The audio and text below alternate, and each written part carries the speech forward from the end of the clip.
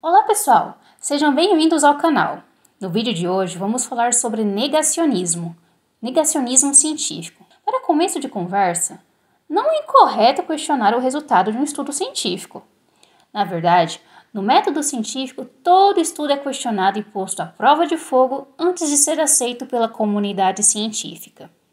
E à medida que surgem novas evidências, o conhecimento científico vai se aprimorando. Dito isso, o problema do negacionismo científico é negar conhecimento científico já consolidado sem apresentar evidências e argumentos válidos. O alicerce do negacionismo pode se resumir a um conjunto pequeno de pessoas com alto poder de persuasão e milhares de seguidores nas mídias sociais. Os influencers da discórdia, charlatões, falsos especialistas que seguem uma postura irracional, manipulam informações e disseminam teorias conspiratórias.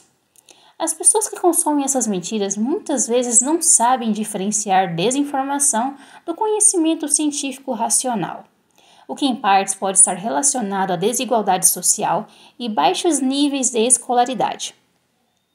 Muitas dessas pessoas compram as desinformações como verdade absoluta e contribuem para a disseminação do negacionismo científico. Atualmente existem várias ondas de negacionismo, tais como o terraplanismo e os movimentos anti-vacina.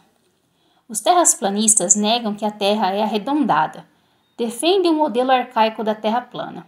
Há negacionistas sem conhecimento técnico difamando vacinas e defendendo tratamentos ineficientes para a Covid-19, o que é um crime, pois colocam vidas em risco.